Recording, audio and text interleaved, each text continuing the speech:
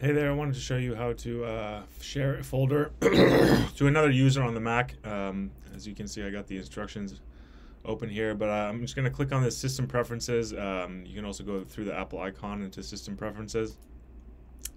Then I'm going to go to here, it's Sharing, and uh, these are the shared folders. And so if I want to add one into here, I'll click the plus and then just navigate to the folder. Um, where I want to add something and I'll just add it in there. The folder will show up and uh, the users that can use that folder will show up here too. So, um, like if I want to use, um, change the permissions also, like for the folder, I'll, uh, you know, go for everyone or I can do it for a specific user also. Um, you know, whatever users I have in here.